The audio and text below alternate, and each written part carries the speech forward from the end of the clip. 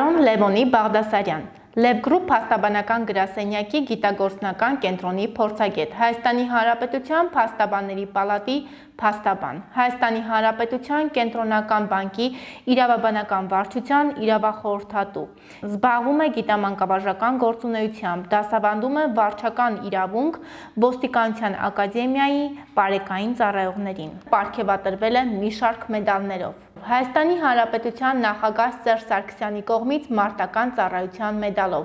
Հայաստանի Հանրապետության նախագահ Արմեն Սարգսյանի կողմից արիության մեդալով, Հայաստանի Հանրապետության Պաշտպանության նախարար Սեյրան Օհանյանի կողմից Մարշալ Բաղրամյան մեդալով, Արցախի Հանրապետության նախագահ Արայիկ Հարությունյանի կողմից արիության մեդալով, Արցախի մայրերի երախտագիտության մեդալով, ամուսնացած է, ունի 1 զավակ։ Բարև ձեզ հարգելի հայրենակիցներ, այսօր Իրավունք TV-ի տաղավարում հյուրընկալել ենք Հայաստանի Հանրապետության Փաստաբանների պալատի փաստաբան, Lab Group փաստաբանական ընկերության փաստաբան, դասախոս, իրավաբան Տարոն Բաղդասարյանին։ Բարև ձեզ, պարոն Բաղդասարյան։ Շնորհակալ ենք ձեր խիտ գրաֆիկից ժամանակ հատկացնելու եւ մեր տաղավարում հյուրընկալելու համար։ Շնորհակալ եմ հրավերի համար։ Թույլ տվեք շնորհավորել նաև ձեզ նոյեմբերի 22-ի կապակցությամբ այսօր մեր դրամի օրն է 1993 թվականի նոյեմբերի 22-ին Հայաստանի Հանրապետությունում մուտք եղավ հայկական դրամը,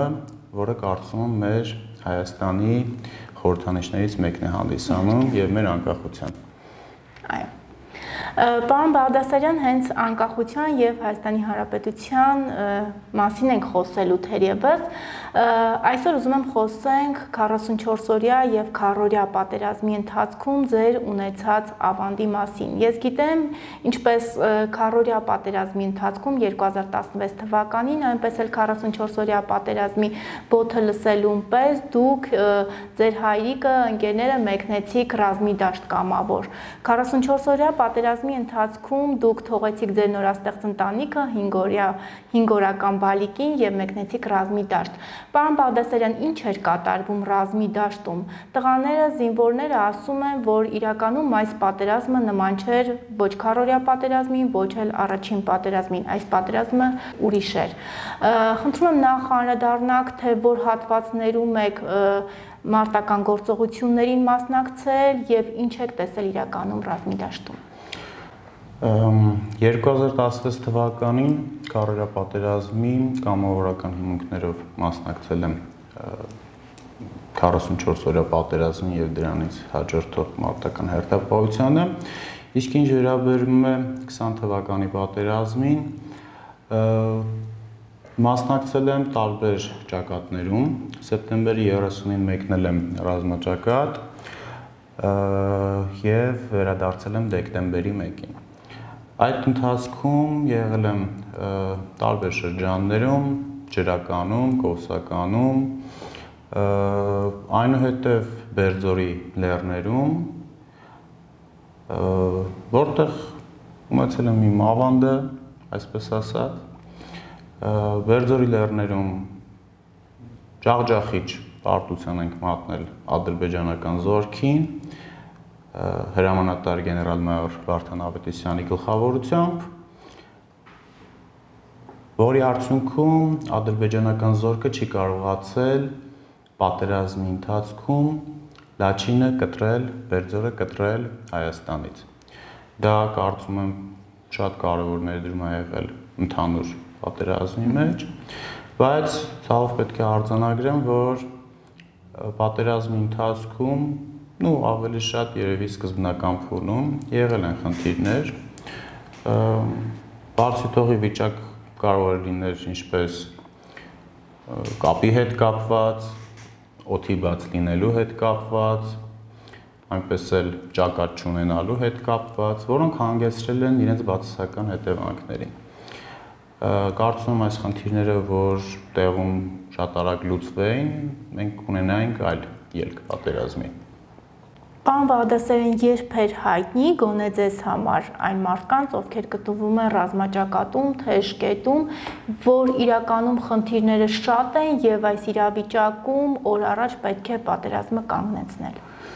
Որ օրն էր պատերազմի հայտնի արդեն։ Գիտեք, պատերազմը կանգնեցնելու մտադրություն երբեք մտներովս չի անցել, որ պետք է պատերազմը կանգնեցնել, սակայն համենայն դեպս այն վայրերում, որտեղ որ մենք ենք տեսել, որովհետև պատերազմն է, ամեն ինչ էլ կարող է լինել, ինչպես կարող են դիրքային կորուստներ լինել, այնպես են կարող են տարածքների կորուստներ լինել, այնուհետև դիրքերի վերականգնում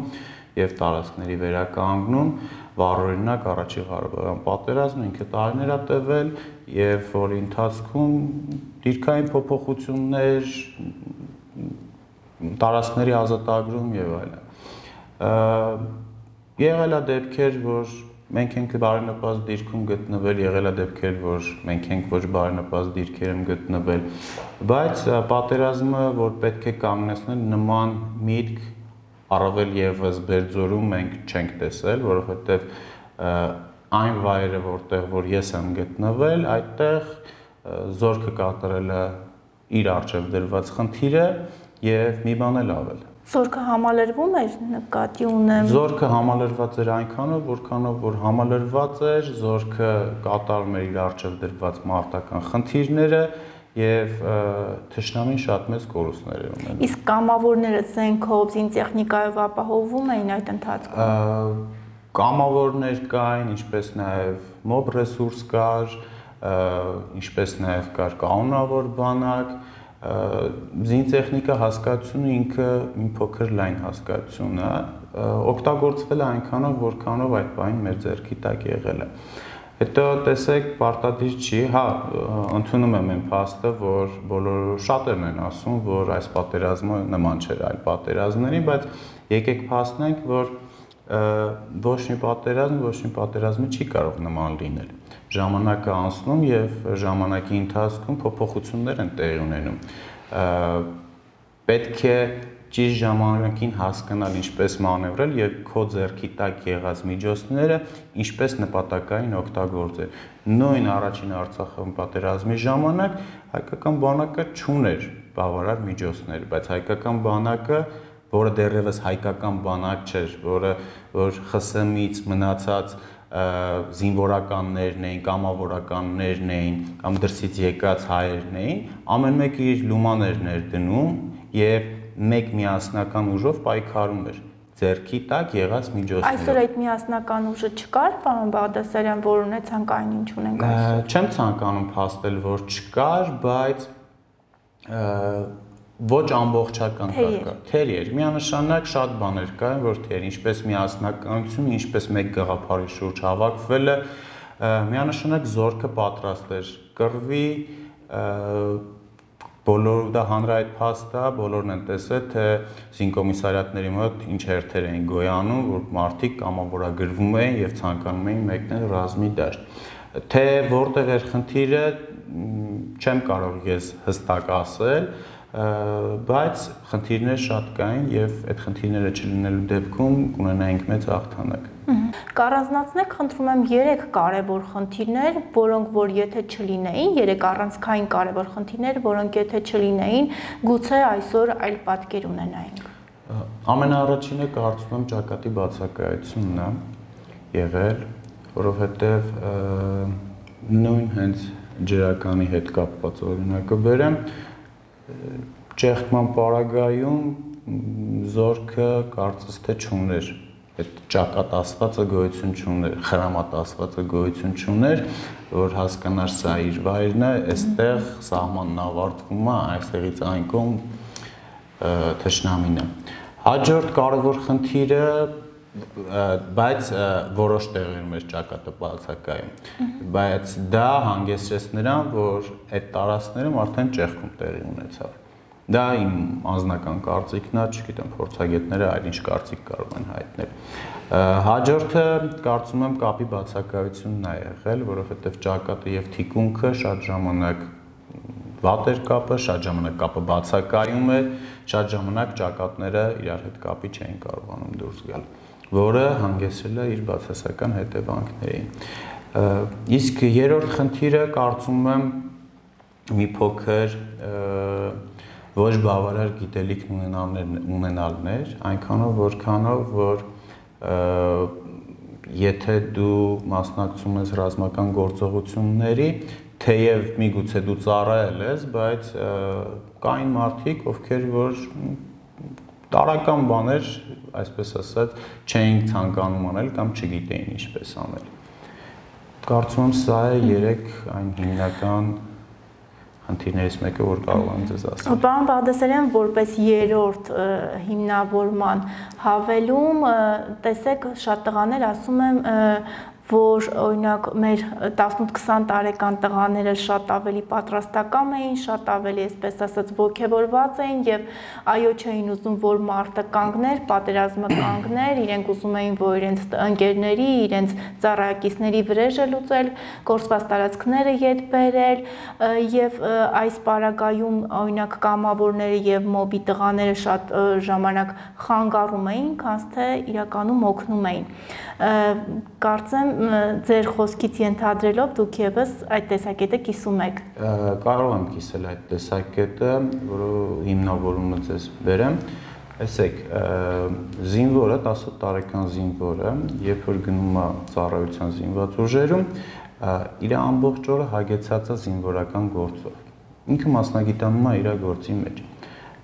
Ին վրա օրինակը բերեմ։ Ես մասնագիտությամբ իրավաբան եմ, զբաղվում եմ իրավաբանությամբ Սակայն զինվորական գործը ես չեմ մոռանում։ Ինչի չեմ մոռանում, որովհետև ես ինքս աշխատում եմ այդ ուղղությամբ։ Ես ինքս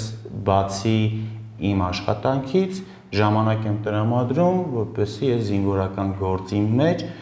չվարպետ, ոչ թե վարպետանամ, այլ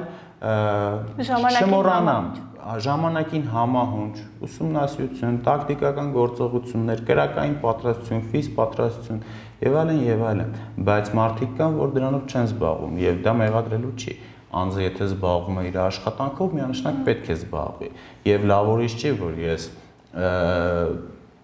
այդ ամեն ինչով զբաղվում եմ, որովհետև վստահ եմ, որ մի օր գալու է էլի ու նորից ինվորագրվելու եմ։ Եվ որպեսի ես ժամանակ չկորցնեմ, ինքս ին վրա փորձում եմ աշխատել ես եւ շատ մարդիկ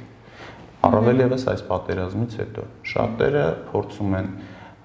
զինվեն, օրենքով սահմանված կարգով, պատրաստություններ անցնեն եւ իրենց գիտելիքները զարգացնեն։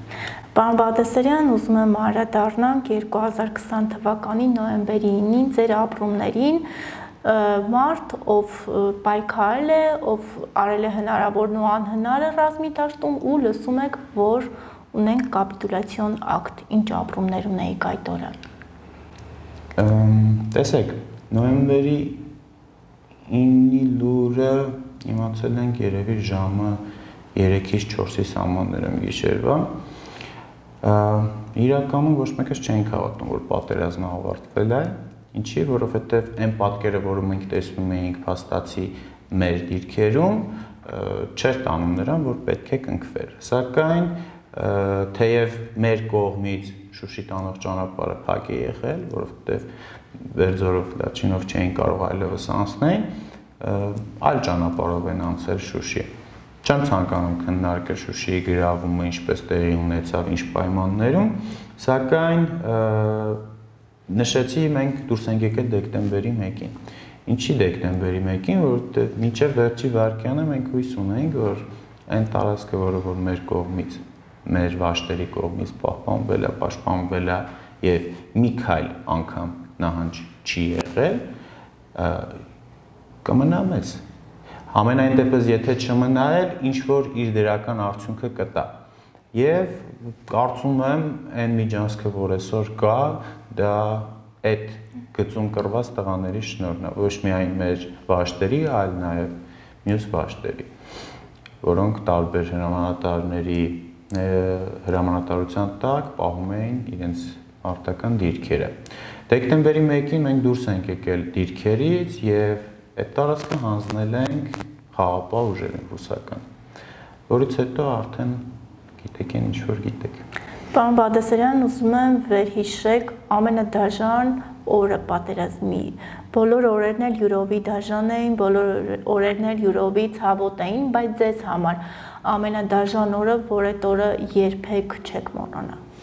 Այդ ապրումները։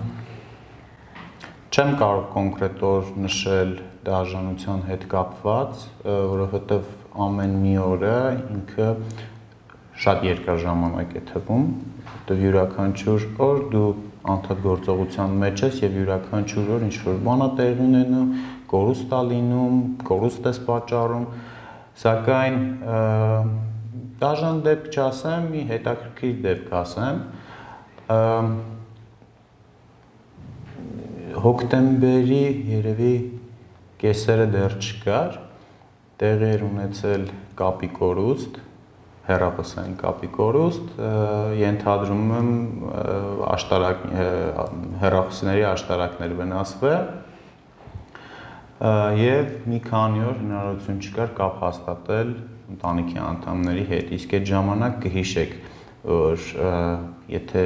մի մի օր չէ զանգահարում, արդեն ապրումների մեջ են ու հաշվի առնելով այն վիճակը, որ անթիվան համար զոհեր կան, ամեն ինչ կարող են մտածել ու հոգեկան ծանր ապրումներ ունել։ 2-3 օր չէին կարողանում զանգել եւ մի օր փորձեցին կապ գտնել, կապը կարողացան գտնել հարևան երկրի Իրանի ռոմինգի միջոցով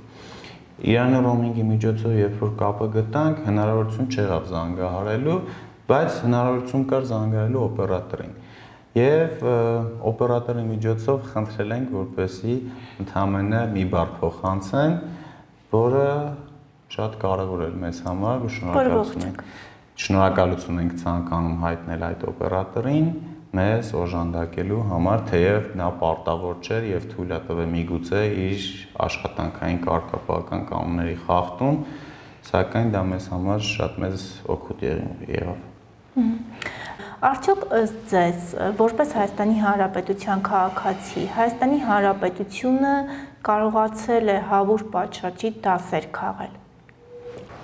Կարծում եմ ոչ թե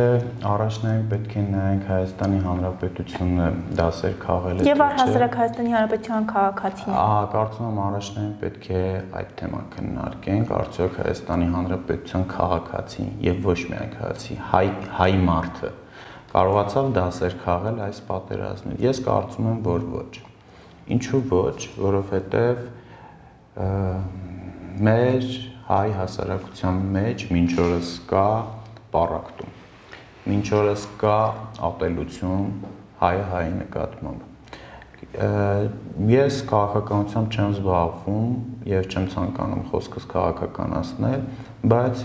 կարող եմ փաստել մի բան։ Անկախ ամեն ինչից դու ինչ քաղաքական հայացքներ ունես, մենք հայ ենք եւ հայը պետք է հայ կողքին է։ Խոսքը չի վերաբերում եթե դու ինչ որ միտեղ աշխատում ես, ընդդիմություն ես կամ իշխանություն ես հայ մարդը պետք է հայ մարդու հետ միասնական լինի եւ մեր միասնականությունն է, որ մեզ փրկելու է այս իրավիճակից դուրս գալու համար։ Այն պահին, երբ որ տարանջատում չի լինի, այն պահին, երբ որ հայը հայի հանդեպ թույն չի շնչի, կարծում եմ այդ ժամանակ մենք հույս կունենանք, որ ազգովի մենք ինչ որ բանի կարող ենք հասնել։ Եվ ամփոփելով մեր զրույցը, պարոն Բաղդասարյան, մենք բոլորս գիտենք, որ այսօրին եւս Հայաստանի Հանրապետության հայ-ադրբեջանական սահմանի տարբեր հատվածների ստագնապալի լուրեր են լսվում, որ սահմանում իրավիճակը լարված է։ Հարցս հետեւյալն է. եթե կրկին Աստված մի արածցե անհրաժեշտություն առաջանա, որպիսի զինվորագրվեք, պատրաստ եք ոչ թե Աստված մի արածցե, ես վստահ եմ, որ պատերազմ լինելու է եւ դա այդ պատերազմը լինելու է հայ ազգի սրբազան պատերազմներից մեկը եւ այդ սրբազան պատերազմը լուծելու է այս ամբողջ խնդիրը եւ միանշանակ ես եւ իմ ընկերները մասնակցելու ենք այդ սրբազան պատերազմին եւ մեր լուման ներդնելու ենք այդ գործում Շնորհակալ եմ ձեզանից։ Ձեզ նույնպես շնորհակալություն։